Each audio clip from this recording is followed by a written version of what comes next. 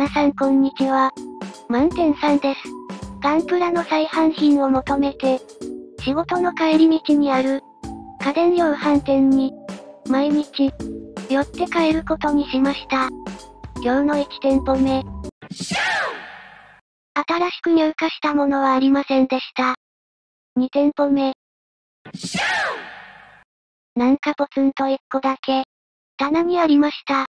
持ってないキットだったので、購入することにしました。3店舗目。特に目新しいものはありませんでした。今日の収穫。シナンジュスタインナラティブバージョン。以上。